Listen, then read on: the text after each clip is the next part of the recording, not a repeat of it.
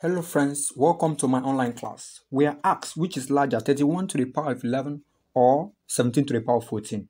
We can write 17 to the power of 14 as 17 to the power of 3 times 17 to the power of 11.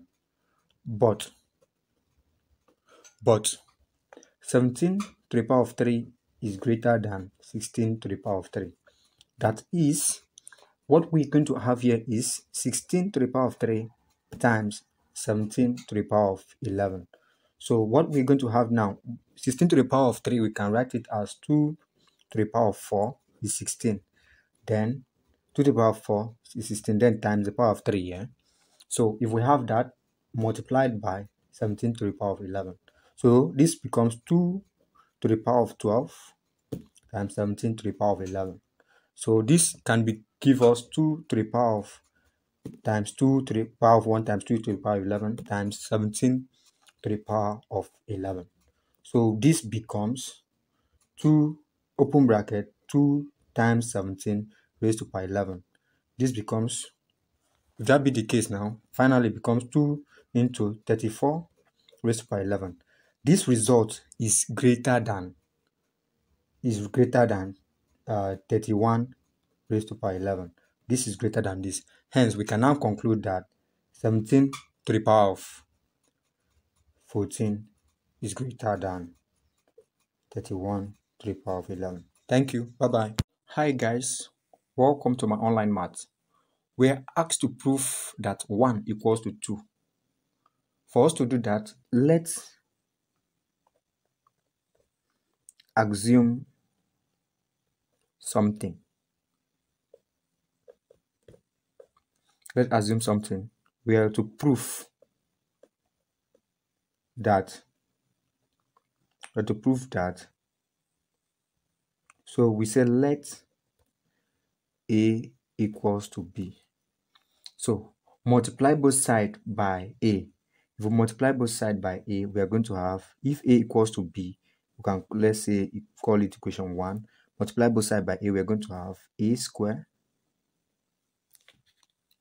a square equals to ab so subtract both sides by b square we're going to have a square minus b square equals to ab minus b square.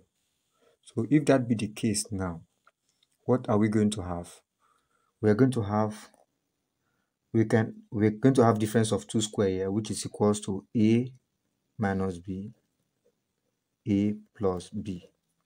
Then this other side we're going to have b open bracket a minus b. So a minus b goes with a minus b. We're going to have a plus b equals to b so if a plus b equals to b but we already know said assume that but we already said that a is equals to b. So if that be the case now we are going to have anywhere we see a we can put b there we're going to have b plus b equals to b. 2b equals to b. This implies that this implies that 2 is equals to 1 but at, as at this point in time we are already having a kind of at this point in time where do we get it wrong? 2 equals to 1 but we're asked to prove that 1 is equals to 2 so where do we get it wrong?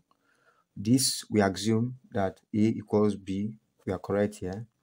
Then a square equals b square we are correct at this point.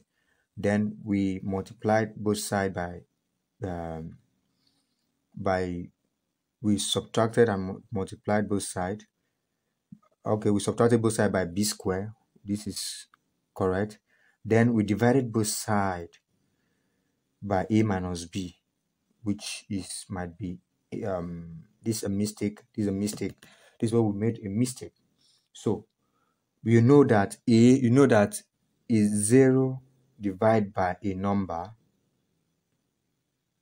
is undefined is undefined 0 divided by a number is undefined. So remember that a number divided by 0 or yeah dividing anything by 0 is uh sorry dividing anything by 0 is undefined. So what are we going to now have? This leads to a kind of ambiguous solution. So this leads to a kind of ambiguous solution that 2 is equals to 1. Meanwhile, we're asked to prove that 1 is equals to 2. This is an ambiguous solution. So be very careful not to make this kind of mistake.